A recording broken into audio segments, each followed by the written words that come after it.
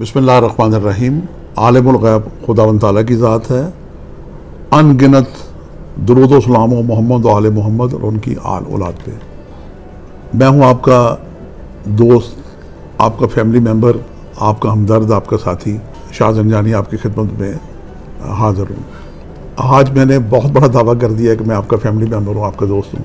تو اسے ثابت کرنے کے لیے یقیناً کوئی دلائل بھی ہونے چاہیے میرے پاس۔ پاکستان میں بائیس کروڑ ہمارے جو دوست بستے ہیں، یقیناً سبھی مسلمان ہیں، ماں سوائے تھوڑی سی اقلیت کو نکال کے، اور پوری دنیا میں، عالم اسلام میں عرب سے بھی زیادہ کم و پیش ڈیڑھ دو عرب کے قریب مسلمان بستے ہیں۔ اور کوئی مسلمان ایسا نہیں ہے جو ایک اللہ، ایک قرآن، ایک رسول سے محبت نہ کرتا ہو۔ کوئی نماز ایسی نہیں ہے جس پہ محمد و آل محمد پہ درود نہ بھیجا ہو۔ تھوڑا سا درود پاک یہ کرتا ہوں۔ اللہ صلی اللہ محمد والا آل محمد۔ جہاں ذکر آتا ہے آل محمد کا، تو جتنے بھی سادات معظم دنیا میں بستے ہیں، یہ آل نبی اولاد علی ہیں۔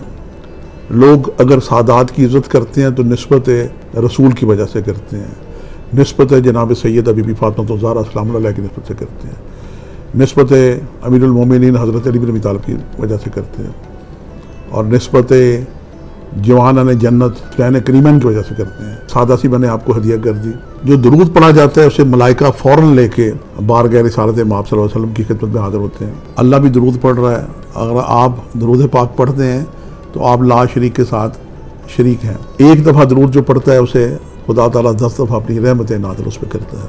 میری نسبت، چونکہ عال نبی اور راج علی سے میں سید زادہ ہوں، تو جس کسی شخص نے بھی زندگی میں ایک دفعہ بھی درود پڑھا تو وہ سمندر کی طرح ہوتا ہوا جتنی بھی آل رسول ہے، اس کا ایک قطرہ مجھے یقیناً ملتا ہے۔ تو آپ کا سلام میرے جد کے بعد مجھ پہ بھی آتا ہے اور جب آتا ہے تو ایک سید زادہ بھی دعا کرتا ہے۔ سب کے لیے دعا کرتا ہے۔ یوں میں آپ کا دوست بھی ہوں، آپ کا فیملی ممبر بھی ہوں اور آپ کے لیے دعا گو بھی ہوں۔ آج ایک بہت ہی لطیف اور اہم نقطہ لیے حاضر ہیں۔ گزشتہ دنوں اگست کا مہینہ تھا تو پاکستان کے بارے میں پروگرام کیے گئے۔ نیا پاکستان بن رہا ہے تو نئے جھنڈے کے بارے میں پروگرام کیا گیا۔ بہن بھائیوں نے اسے پسند کیا، میں ان کا شکر گزار ہوں۔ یہ ساری کاوشیں شہزادہ سید محمد علی زنجانی کی ہیں جو ہماری حوصلہ افزائی کرتے ہیں اور ہمیں کسی نہ کسی ٹاپک کی طرف توجہ دلاتے ہیں۔ تو آج کا ٹاپک ایک انتہائی اہم ٹاپک ہے۔ نئی حکومت بننے کے بعد ہمارے وزیر خارجہ شاہ محمود قریشی نے جیسے ہی ہندوستان سے مثبت گفتگو کی کوشش کی، وزیر خارجہ سشما سوراج نے بھارتی وزیر خارجہ جو ہیں، ان کے سخت بیانات، پھر وہاں کے آرمی چیف کے سخت بیانات، پھر سرحدوں پہ گولہ باری، تو آج کل ایک عجیب سا سرحدوں پہ ایک نقشہ بنا ہوا ہے۔ بلکہ ہم نے تو جب سے وہ شمالی ہے، پاکستان کی ابھی تیسری نسل چل رہی ہے، سنتالیس میں جب پاکستان بنا تو اڑتالیس میں کشمیر، جو ہمارا پاکستان ہندوستان کے درمیان ایک متنازع جگہ ہے، اس پہ جنگ ہوئی۔ انیس سو پینسٹھ کی جنگ میں نے اپنے بچپن میں دیکھی اور اکہتر کی جنگ تو یقیناً جب ہمارا پاکستان کو دو لخت کر دیا گیا، یہ ایک عظیم سانیہ تھا جس کا صدمہ آج بھی محب وطن پاکستانی محفوظ محسوس کرتے ہیں۔ آج ہمیں بہت ضرورت ہے اپنے وطن کا دفاع مضبوط کرنے کی۔ بصیت اسٹرالوجر میں آسمانی کونسل پہ جو نقشہ دیکھ رہا ہوں، دو ہزار اٹھارہ، دو ہزار انیس اور دو ہزار بیس، آسمانی فوجوں کا جو کمانڈر ان چیف ستارہ مریخ اس کا کیتو سے کران چل رہا ہے، یہ خونی ستارہ، جنگ و جدل کا ستارہ ہے۔ اسی وجہ سے سرحدوں پہ میں سمجھتا ہوں ایک ہائپر پوزیشن بننے جا رہی ہے اور اس کا اندیشہ میں نے اپنے آئینہ قسم کا جو میرا میگزین ہے، اس میں میں نے ہدیہ کیا تھا۔ اور اس میں ایک بڑا ایک لطیف نقطہ بھی میں نے ہدیہ کیا تھا۔ گرہنوں کے جو اثرات ہیں، اس پہ میں نے ایک آرٹیکل لکھا تھا۔ اور قصہ گاؤں ماتا کا جو میں آپ کو بھی ہدیہ کرنے جا رہا ہوں۔ آسمان پہ جو نقشہ بنا ہوا ہے، یہ ایک شعر میں ہدیہ کرتا ہوں۔ وطن کی فکر کر نادا مصیبت آنے والی ہے۔ تیری بربادیوں کے مشورے ہیں آسمانوں پہ۔ یہ شعر شاعر مشرق، مفکر پاکستان، ڈاکٹر محمد علامہ اقبال نے آج کے حالات حاضرہ پہ کہا تھا۔ جن لوگوں کا ویژن ہوتا ہے، جو لوگ آنے والی صدیوں میں جانگتے ہیں انہیں پتا تھا کہ پاکستان جو بن گیا ہے، پاکستان کے خلاف سازشیں ہوں گی۔ اور دو ہزار اٹھارہ میں جو اسٹرالوجیکل نقشہ بنا ہوا گرہنوں کے اثرات، اس دفعہ بہت ہی خراب تھے، جو فل گرہن دیکھے گئے۔ ستارہ مریخ اور کیتو کی جو خراب نظر بنی ہوئی ہے، یہ مسلسل پانچ چھ مہینے رہی ہے۔ اور اگلے سال زحل اور راہو کی نظر بننے جا رہی ہے۔ یہ بھی تقریباً چھ ماہ رہے گی۔ اپریل، مئی، جون، جولائی، اگست اور اکتوبر۔ یہ چھ مہینے اچھے نہیں ہیں کہ سرسے میں ملکی ارضیات میں بھی تبدیلیاں آ سکتی ہیں، زلزلوں کا بھی اندیشہ ہے اور جنگ و جدل جیسے حالات بھی ہیں۔ یہ جنگی نقشہ اور تیسری عالمگیر جنگ کی طرف بڑھتا ہوا یہ سلسلہ جا رہا ہے۔ آپ کو اچھی طرح معلوم ہے کہ جتنے اسلامی ملک ہیں، سب سے پہلے تو عراق، ایران کی جنگ کرائی گئی، سات سال جنگ رہی، پھر عراق سے کویت پہ حملہ کرا دی کرا دیا گیا، یہ بھی اسلامی ملک ہے۔ اس کے بعد لیبیا کرنل قذافی جہاں حکومت کرتا تھا اور مسلم امہ کا ایک ہمدرد دوست تھا، اس کی حکومت کو ختم کرایا گیا، بغاوت کرائی گئی۔ اس کے بعد آج کل سیریا شام میں دیکھیں، دس لاکھ سے بھی زیادہ مہاجرین نے ہجرت کی اور لاکھوں لوگ مارے جا جا چکے ہیں۔ افغانستان نائن الیون کے بعد افغانستان میں لاکھوں مسلمان شہید ہو چکے ہیں اور افسوسناک یہ بات ہے کہ مسلمان کے ہاتھوں مسلمان مارے جا رہے ہیں۔ اس کے بعد پاکستان کے میں جو دہشت گردی ہوئی، اس سے سب واقف ہیں، کم و پیش ایک لاکھ پاکستانی اب تک اس دہشت گردی میں بے گناہ شہید ہو چکے ہیں، جس میں ہماری معصوم بچے، ہمارے جوان، ہماری عورتیں، ہماری پولیس اور ہماری عسکری جوان، جن کی وجہ سے ہمارا ہمیں حوصلہ ملتا ہے۔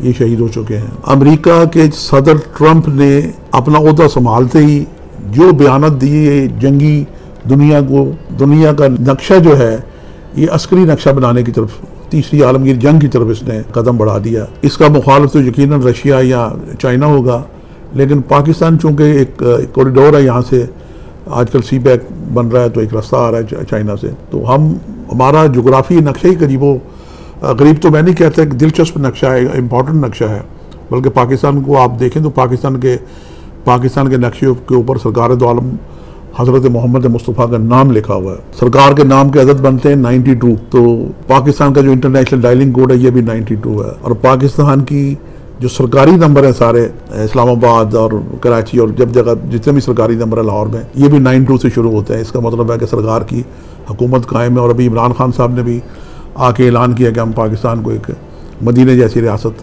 بنائیں گے۔ اس وقت جو نقشہ بنا ہوا ہے، یہ غور و فکر کا نقشہ ہے۔ ہمارا سب سے جو جذباتی جگہ ہے، ہماری کعبہ ہے، مدینہ ہے۔ سعودی حکام نے انتالیس ممالک کی جو فوج اکٹھی کی۔ آپ غور کریں کہ یہ جو فوج اکٹھی کی گئی ہے، یہ کیا بیت المقدس کی آزادی کے لیے اکٹھی کی گئی ہے؟